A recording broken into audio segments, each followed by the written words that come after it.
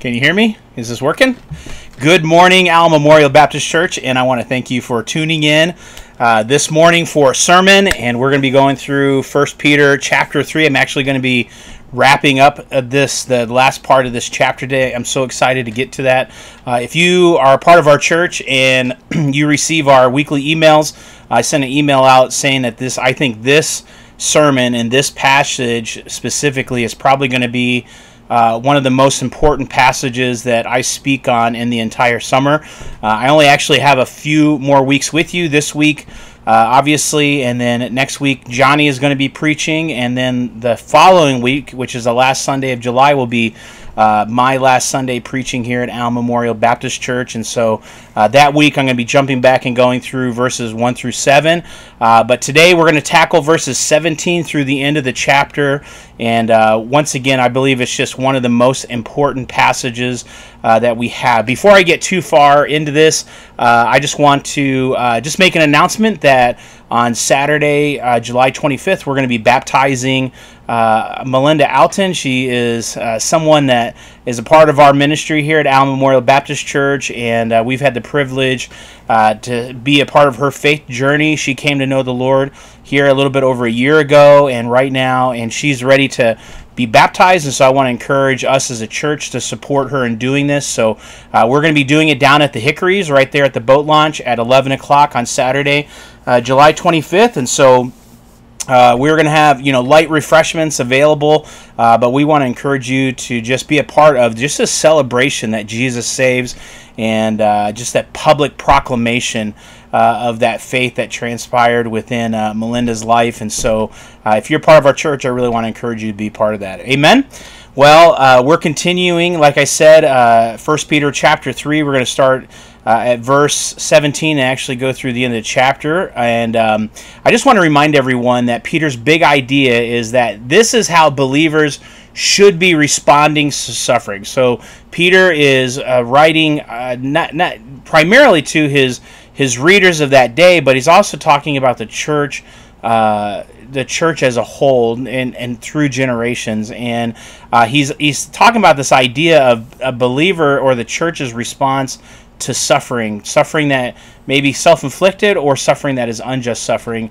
Uh, and he's going to actually zero in on the former here at the end of this chapter. But verse 8, uh, he says this is that the believer should respond to suffering with the right attitudes. And we went over that. Verses 9 through 12, the believer responds with a blessing rather than evil.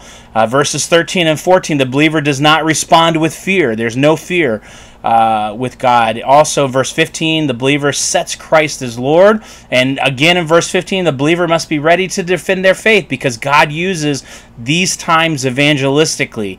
Uh, and this is going to be the main idea coming forward now. Verse 16, uh, the believer must have a clear conscience. And this morning, this is the end of the chapter, the last paragraph here of chapter 3 is that the believer is being strengthened or prepared to suffering. And, and, you did hear me right.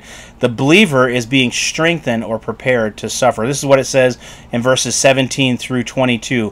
For Christ also died for sins once and for all, the just for the unjust, in order that he might bring us to God, having been put to death in the flesh, but made alive in the spirit, in which also he went and made proclamation to the spirits now in prison, who once were disobedient, when the patience of God kept waiting in the days of Noah during the construction of the ark, and in which a few, that is, eight persons, were brought safely through the water. And corresponding to that, baptism now saves you. Not the removal of dirt from the flesh, but an appeal to God for a good conscience through the resurrection of Jesus Christ, who is at the right hand of God, having gone into heaven after angels and authorities and powers had been subjected to him. 1 Peter chapter 3 verses 17 through 22. Let's open up in a word of prayer. Father, we thank you, Lord, uh, just for this time that we can have together as a church to uh, be underneath your word. Father, we thank you for First Peter. We thank you for uh, Peter, the author, you spoke through your spirit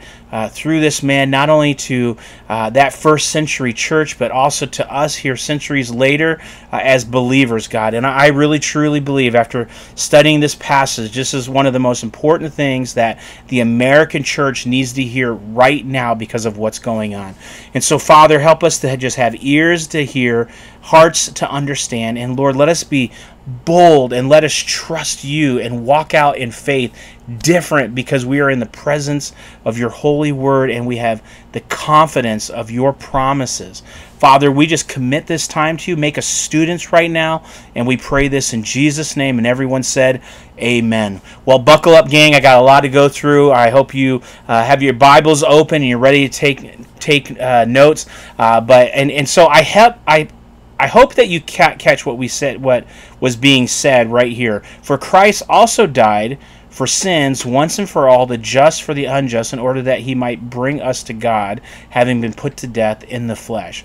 And um, I really think that to catch what's going on in this paragraph and what it's all about is, is that we need to see how it relates to what was said before and what is going to be said after in chapter 4. So if you would just turn with me to 1 Peter chapter 3 verse 17 and Peter calls Christians to suffer if that is God's will for them. Okay? So you'll see the last verse of that of that paragraph right before says this, it's better if God should will it so that you suffer for doing what is right rather than for doing what is wrong. Okay, did you see that? Is better if God should will it so that you suffer for doing what is right rather than for what is doing wrong. Okay, and and so and so what is he saying? Sometimes it's God's will that we should suffer for what is right. Sometimes it's God's will that we should suffer for what is right.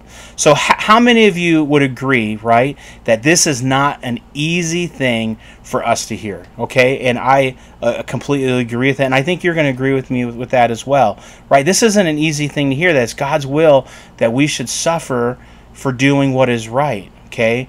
How many of you would continue to agree and say, Lord, because of this, we need your help. We need you. We need understanding and we need encouragement and hope. And, and God, uh, if, if you're going to will that we suffer for doing what is right, we need you. How many would say that right away? I would.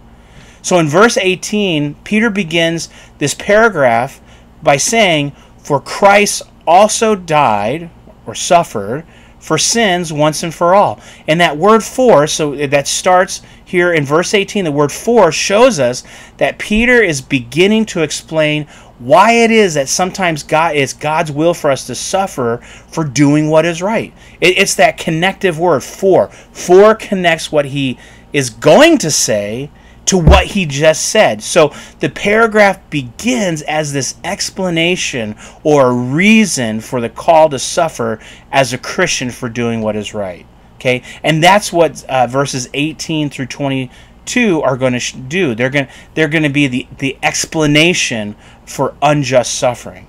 Now, I want you to do something else. Okay, so so let's look at the connection between this paragraph that we're going to look at, verses 18 through 22, and what follows in verse 1 of chapter 4. So this next unit, right, this next paragraph in chapter 4 begins this way. It says, Therefore, since Christ had suffered in the flesh, arm yourselves with the same purpose. So, what purpose? What purpose is he referring to? It's the purpose to suffer for what for doing what is right. Unjust suffering just like what christ did. So just before the text verse verse uh, chapter 3 verse 17 and just after the text in verse 1 of chapter 4 this is the point. He's saying get ready to suffer for doing what is right if it should be god's will. That's what he's saying. He's saying arm yourselves with that purpose. Or another way to say it is you need to get ready. You need to get ready, right? So, church, what are we going to do? We're going to get ready. Okay? Peter is preparing us to suffer. Verses 18 through 22. So, the main point of these verses is to help us get ready to suffer with Jesus for doing what is right and not doing what is wrong. Okay? And there's a distinction there, right? Now, for all those. Um, for all the, the, the you know this this paragraph specifically. So as I read chapter three, I, I uh, like many of you, I'm able to completely follow along. But in this paragraph, there are there are some puzzling things in this in this in these verses, and I had to reread them many times, just like you would have, right? So, but I, I just want to drive this home. We must not forget this main point. And I want to bring it up here, and we're going to bring it up at the very end. Peter's intention in this text is to help arm ourselves with the faith to suffer for the sake of Christ and for his kingdom. He's telling us to get ready, right? He's telling us to get ready. And here's the reason why it's the it's it's the norm through throughout most of history, right? And, and I know what I just said may sound irrelevant to you, right? That it's Peter's intention to help arm ourselves to suffer for the faith. And but and then the reason why we might just kind of not think about that or cast that aside is because like most americans right we're insulated or we're padded from the bigger world outside right we are insulated in our little country which you know ends up being about 5% total of the globe okay? Our little uh, even our little american era where where we've existed since 1776 is about 5% of the last 6,000 years okay? So for most of the world okay and for most of history being a christian has not been safe. But as americans we've been insulated from that We've been insulated from that. Stephen Neill says uh, in his History of Christian Missions, this book, page 43, that in the first three centuries, when the church was spreading like wildfire, every Christian knew that sooner or later he or she might have to testify to his faith at the cost of his or her, her own life. Right? Well, what, what does that mean? That means this that that because they knew Jesus and they were bold in their faith, they were probably going to lose their life because of it. And that is the norm outside of America, not only uh, for centuries, right, but it's also the norm uh, around most of the world, even right now. And I want you to think about that. Imagine doing evangelism in a context where you can, where you cannot make any promises to people that things would go better for them on earth, but if they believed what you're offering them, they would actually be risking their lives. Imagine if that was the norm.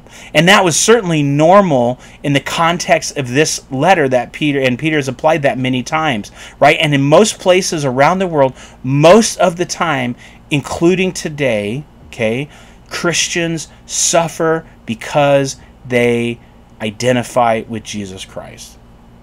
In America, right, we have made this false assumption that safety is normal. And I want you to think about that statement. In the U.S., safety is normal. Okay, and all the U.S. citizens said, Amen. Thank you, Jesus. Thank you, military. Thank you, forefathers, right? Around the world, that is not the case. During the time of this writing, it certainly was not. For these believers, for others right now, being a Christian is like that. And I really think in America, for anywhere from five to ten years from now, that's probably not going to be the t- case even here. Right? So the norm throughout most of the world. Today, it's normal in most places to suffer for being a Christian.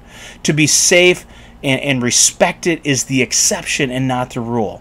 I, I just want to give you just one example. Uh, evangelical missionaries entered Cambodia in the 1920s, and by the time that they were expelled in, 19, in 1965, there was about 600 believers.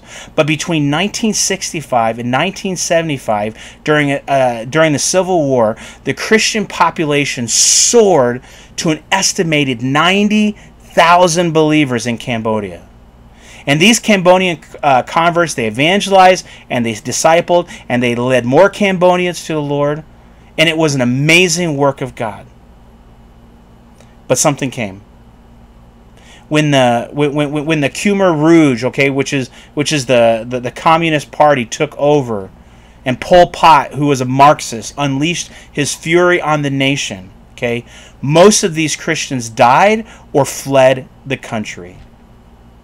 Don't believe me? Google Cambodia genocide or the Khmer Rouge genocide, and, and you'll see the facts of what happened there uh, during uh, the late 70s and 80s during this Communist Party regime. Genocide. And what's crazy about this story is that this story can be retold hundreds of times over and over around the world and along the centuries, okay? And because this is a true statement, it is normal, not abnormal, for Christians to be hated. That's a true statement.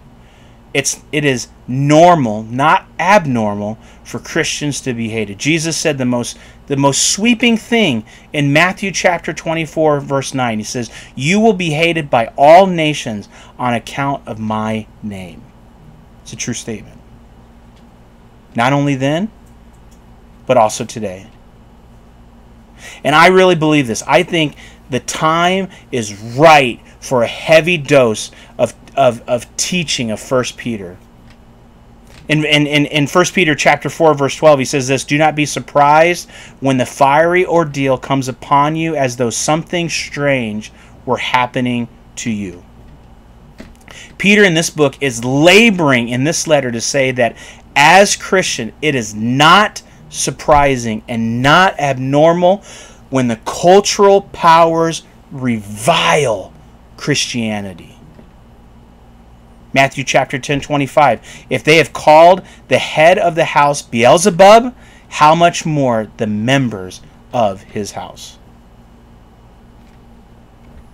So, in this text today, and in, in this whole letter, Peter is laboring to help us be ready to suffer if God should will it. And that's why verses 18 through 22 were written. Okay, so we're going to just walk right on through uh, that paragraph together. So, and, and in it, we're going to find five ways that Peter prepares us for suffering. Five ways that Peter prepares us for suffering. Uh, say that 10 times, fam. Five ways Peter prepares us for suffering. All right, so number one, remember that Christ suffered. So the first thing that Peter points out is that Christ suffered, and we remember that. First, he insists that that we not forget that Christ, our great King and Savior, himself suffered. Verses 17 and 18. It is better if God should will it so that you should suffer for doing what is right rather than for what is doing wrong. For Christ also suffered. So throughout the New Testament, right, the, the mindset of Christianity is this our Lord suffered, and we will follow him in suffering our Lord suffered, and, and the reality is, is that we're going to follow him in suffering as well. Paul says it. Paul says it in Philippians chapter 3. Oh, that I might know him and the fellowship of his sufferings, and to be conformed to his death. Hebrews says this that he suffered outside the gate. Hence, let us go with him outside the camp, bearing his reproach. Uh, Hebrews 13, verses 12 and 13. Jesus says, If anyone will come after me, let him deny himself and what? Take up his cross and follow me. Mark chapter 8, 34. I bear the cross and you will bear the cross. So the first great encouragement that we see here in this passage is that is that we are to prepare ourselves for suffering for doing what is right because that's what happened to Jesus, right? The greatest, the most loving, caring, truthful, holy man that ever lived.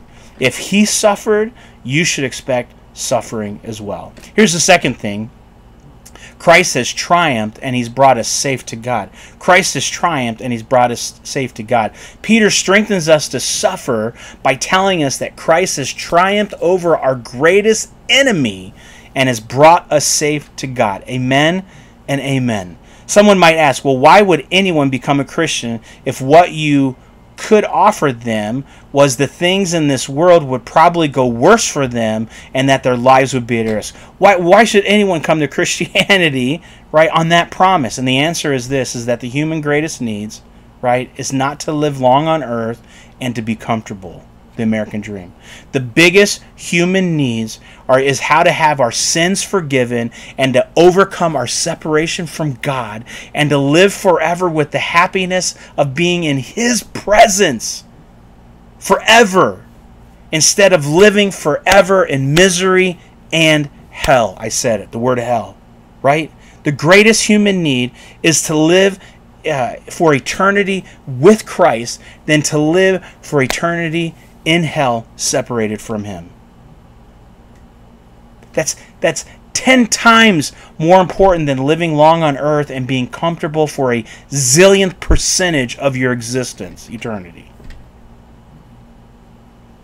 So this is what the death of Jesus accomplishes, right? Verse 18. For Christ also died for sins once for all, the just for the unjust, in order that he might bring us to God. Oh, that's such a powerful verse. I love this book. Verse 18 For Christ also died for sins once and for all, the just for the unjust, in order that he might bring us to God. Yeah, I, am going to do. I'm just going to take a little break here and kind of jump through. There's four things just in verse 8, 18 here. Uh, here's the first thing: Christ died for sins. You see that for sins. Christ died for sins. This is what separates me from God. Is my sin. This is my biggest need. There, you know, these are my biggest enemies, not Satan. Right right? Isaiah 59 says this Your iniquities have made a separation between you and God, right? This is vastly more terrifying than suffering for righteousness, suffering for the wrath of God because my sins have not been forgiven. But Jesus died for sins. This is the greatest need in the world. I do not have to die in my sins. There is forgiveness. And this is why people would believe on Jesus even if it costs them their lives. Uh, keep going in verse 18. The second thing we see here in verse 18 Christ died the just for the unjust, right? So his death was substitutionary, right? He took my place. He stood under the wrath and the penalty that I deserved, and he bore it for me. His death was utterly innocent.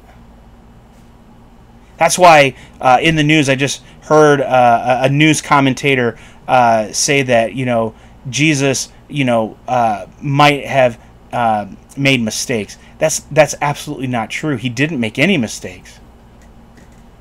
His death was utterly innocent. It was substitutionary. The reason why he died is because he died for my sins. It was for all other sins and not his own. That's an important thing for us to know. Here's the third thing Christ died once for all. He died once for all. That is, his death was final and all sufficient to accomplish the forgiveness of all who believe on him. It has to be that way. He does not have to uh, ever offer another sacrifice. I don't have to add more on top of what Christ already did. Uh, Jesus said this it is finished. It was all that was necessary to take away the guilt of my sins because the debt is paid in a full. Here's the last thing that we see just in verse 18. All of the all of these things brings me to God. All of this brings me to God. Christ also died for sins once and for all, the just for the unjust, in order that he might do what? Bring us to God. That's the big idea, right? This is the great comfort of martyrs and suffering Christians. Our worst enemy, sin, has been defeated, and Jesus has made sure that we will be at home safe with God. He has brought us to God. Separation has been removed. God is near us and He's for us. Our lives are hidden in Him. So you might be asking, well, well, well, how does this help us to suffer? Because one of the one of the terrible temptations of the devil in suffering is to make us think that God has forsaken us. Have you ever felt that way? Have you ever gone through a difficult time and you just felt like God wasn't there? And that's a temptation from the devil in the midst of suffering, okay? So, what Peter is saying here is this He says, Suffering is no sign that God has forsaken us and turned against us. Christ has carried our sin, He has absorbed the wrath of God, and He has brought us safe to God. And so when the believer suffers unjustly, suffering is not a sign that God is missing. Does that make sense? When, when the believer suffers unjustly, suffering is not a sign that God is missing. And I pray, I, I know, I know there's somewhere here this morning in our church, in our community, right, in our fellowship that needs to hear that this morning. That when the believer suffers unjustly, suffering is not a sign that God is missing. And that is a promise that we need to believe in. Okay? All right, so that's that's the little caveat, right? So now we're going to jump back into the bigger outline, okay? uh, as we go on through uh, this chapter, he says, "Remember the days of Noah." Okay, and this is kind of where things get a little sticky, and I really want to just make sure I tread here uh, correctly. Okay, so the third way that Peter strengthened us for suffering is with the situation that we see in Noah's day. So, after referring to Jesus being alive in the Spirit in verse 18, verses 19 and 20 says, says this In which he, Jesus, went and made proclamation to the spirits now in prison, who was once disobedient, with the patience of God, kept waiting in the days of Noah during the construction of the ark, in which a few, that is, eight persons, were brought safely through the water. Now, I've read this many times, and many times I've kind of scratched my head and said, okay, what is being talked about here? Okay. And so I'm not going to lie about it, but, and as I jumped into this and I started to really look into this, evidently there's a lot of controversy over what this passage uh, is referring to. Okay. So I'm going to tell you what I think. Okay. The way that I'm leaning and the people that I'm aligning myself with. Okay. Um, and, and, and how it's going to relate to the main point. Okay, I think that it refers to the time when when people in Noah's day, okay, the, the time when people in Noah's day were disobedient, they were mocking him as a righteous man, obeying God, okay, which, by the way, does that sound familiar? Okay, that's, that's the same thing that was happening to Peter's readers as well, okay, so they were mocking Noah as being a righteous man, and that Jesus, in the Spirit, was sent by God in those days to preach to those people through Noah, okay, and so just like in 1 Peter 1.11, okay, and if you turn back and, and, and, and read that, right, the Spirit of Jesus was in the Old Testament prophets predicting his coming. So in the same way, the Spirit of Jesus was in Noah preaching to the disobedient people of Noah's day, okay, and are now in prison, okay, that is uh, in a place of torment awaiting the final judgment that we read in Luke chapter 16. So what's the controversy? Okay, um, he, he, here, here's what some people think, and and I don't take this verse to refer to Jesus going to the place of dead or afterlife and preaching to spirits there. Okay, where they're at right now, waiting a judgment. Right, and and many wise and good uh, scholars take it that way. But I don't I don't take it that way and here's the reason why is this if Peter's point is that Jesus went to preach to all the dead why would he say that they were once disobedient on the days of Noah? Okay. There were or are thousands of millions of spirit in the afterlife who have not lived in the days of Noah. Okay, so I think he's talking to a large group of people. Okay, or no, I believe he's not talking to this very large group of people who, over centuries, uh, but rather he's speaking to a specific group of people, which are the, the, people in the days of Noah. So I take it mean that Jesus went to preach in the days of Noah through Noah to people who, because they rejected that preaching, are now in prison waiting final judgment. Okay, does that make sense? I hope it. I hope it does. And uh, if it doesn't, maybe stop and you know re-listen to what I'm saying or uh, you know uh, read back through the passage, but and I don't want us to get bogged down here, right? Um, and, and, the reality is this: is that we got to wrestle through these passages, right? I mean, I very well could have just skipped that; no one would have thought twice. But I think we need, for me, I needed to kind of understand that, and I believe and understand how it fits in this bigger con- context. All right. Um, so from that, I just let me just talk about three things that that Noah uh, strengthens us for suffering. So, just what can we glean from this this little passage of scripture right here? One, it assures us of the greatness of Christ. It assures us of the greatness of Christ. Okay, and this is so important that we grab this. Christ is not bound by space and time. Amen. He was there preaching thousands of years before, and he's here speaking today too. He's going to be with you, as he said, in the end at the end of the age, right? So whether you go to China or Congo or Bangkok or Afghanistan or Japan or Papua New Guinea or Siberia or the Philippines or the Ivory Coast or Australia, right? Or Germany or Pennsylvania or New York or Candor, New York, or Tennessee, right? Wherever you you go and you may suffer both now and forever, right? Christ is there and the greatness of Christ is with you. Amen. Second, it's better to trust Him, obey Him, and to suffer than to not know God, to disobey God, and to be cast in prison, right? That verse 19 refers to. Right? And this is what happened to the spirits in Noah's day. They thought it was foolish to heed the call of God like Noah did. And so they stayed comfortable and they stayed respectable until the rain started. Right? Until the rain started and reality hit them. And this is again why people can be converted with a message that calls for suffering. The reality is is sometimes it's suffering that will keep them out of eternal hell. I have a dear friend that is on his deathbed in Columbus, Ohio, Shelby Cutlet, and he's right now fighting for his life and is likely on his deathbed. But his story is being made famous to the glory of God. My former pastor, because of all this that's going on and because of what happened with coronavirus. And the, and the reality is, is that pastors are very limited in being able to visit people uh, in the hospital. But my former pastor john bouquet he called up uh, and was able to get a hold of the governor of ohio.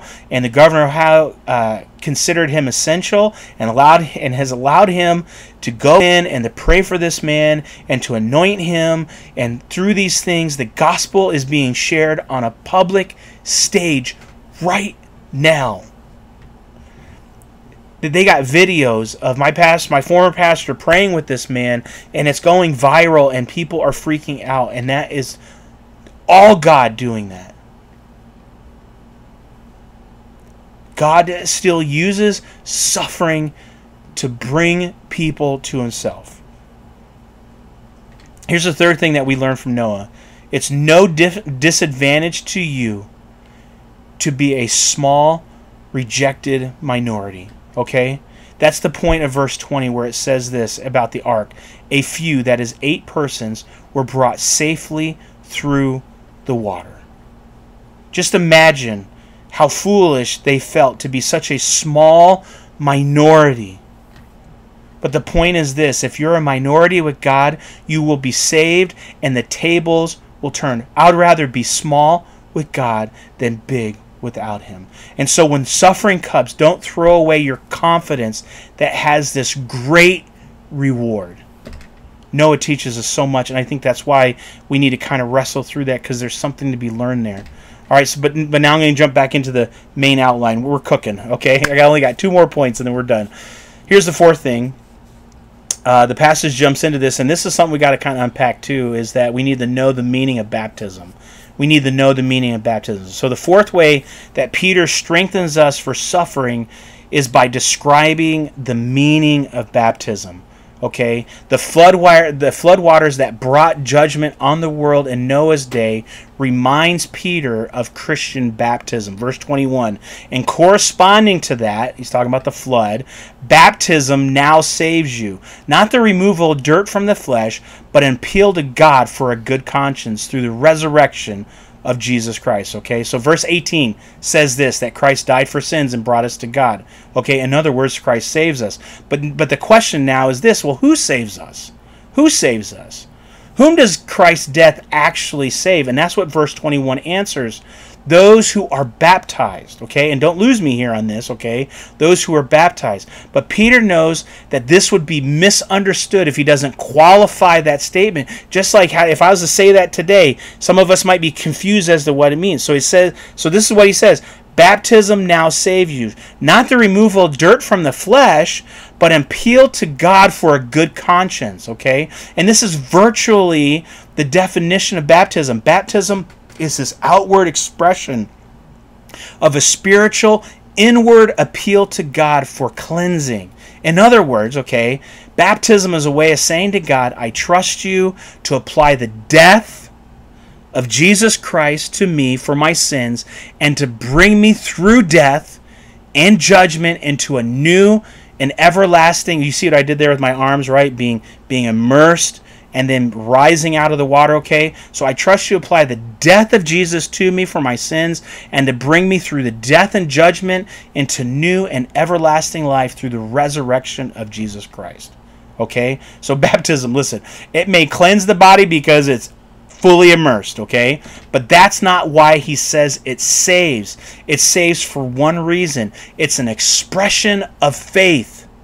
Church, what I just said baptism is what? It's an expression of faith. It's an appeal of faith. Paul said in Romans chapter 10 13 that whosoever calls upon the name of the Lord shall be saved. And baptism is one of those callings, it's an appeal to the Lord. Amen?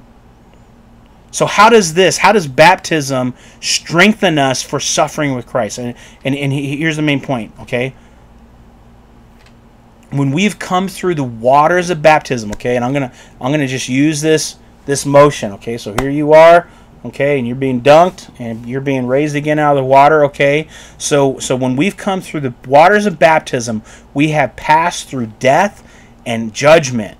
We have been buried with Christ and then we've been risen with him. We pass from death into life. Judgment is path and suffering we are experiencing cannot be the condemnation of God. That's already passed, right? That's already been experienced for us by Christ. We've received that by faith and we've expressed our faith by baptism.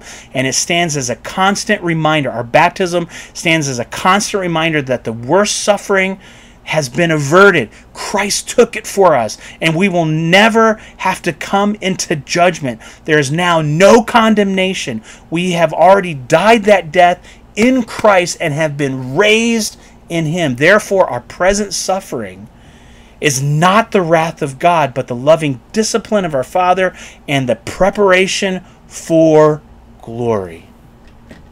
That's why baptism is important. Here's the fifth thing, last thing. We're to look at Christ. We're to look we're to look to Christ as God's right hand ruling over all. Okay, so one last way that Peter strengthens us for suffering, okay, is that he shows us that Christ is at the right hand of God, ruling all over all angels and authorities and powers. Verse 22, okay, literally says this He is at the right hand of God, having gone into heaven after angels and authorities and powers and have been subjected to him. So I want you to take this one thought with you in, in your preparation for suffering. No amount of harassing, no amount of oppression, no amount of deceiving, no, no accusing demon is free to do as he pleases. All angels and authorities and powers and devils and evil spirits and demons and people who don't like us, right? Satan himself are subject to Jesus Christ. When Peter says at the end of this letter, uh, chapter 5, verse 9, he says that the devil prowls around like a lion seeking what? Whom he may devour. Right? And we're to resist him with your faith. This is the faith that he has in mind. The faith that all angels and authorities and powers are subject to Jesus. And this is what we rebuke and we resist the devil with. You are subject to Jesus. Jesus reigns at God's right hand, and you are under him, and you can do nothing without his permission. You say to the devil, You're a cat on the chain. You can't touch me unless he lets you. And he will only let you to the degree that your touch will turn for my good and for his glory.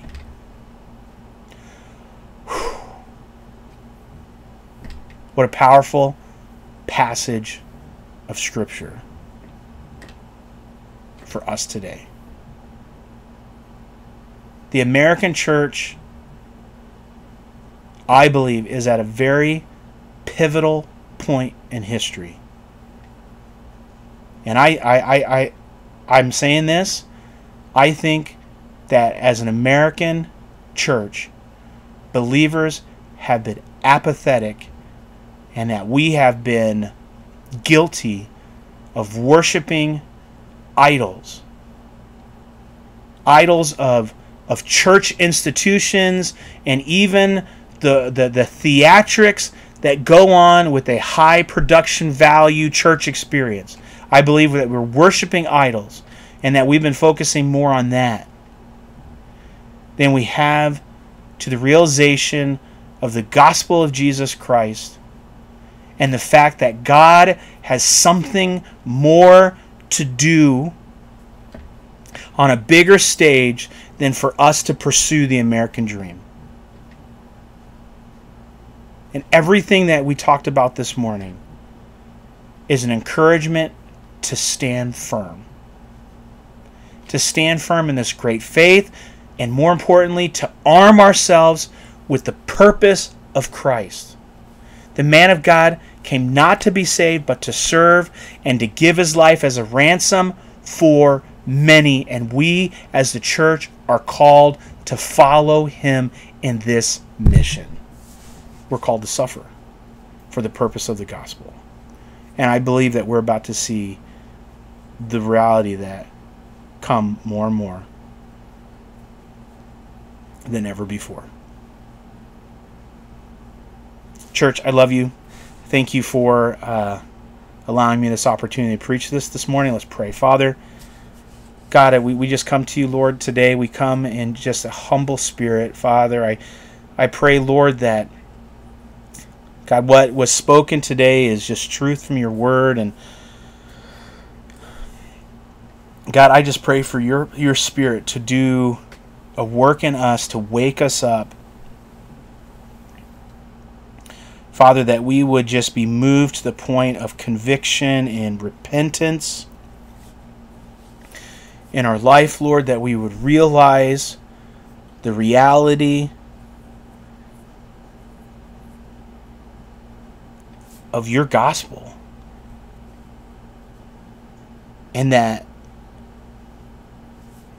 sometimes people, believers, will go through unjust suffering just for the purpose of evangelistic reasons. God, help us to just not be just dull and unattentive to the fact that we are surrounded by people in our in our in our, our community in our nation around the globe that don't know you and so god i, I pray lord that that we would posture and position ourselves lord to to follow your lead and your example and to to, to be able to um, have your kingdom and eternity in view in everything that we say and do.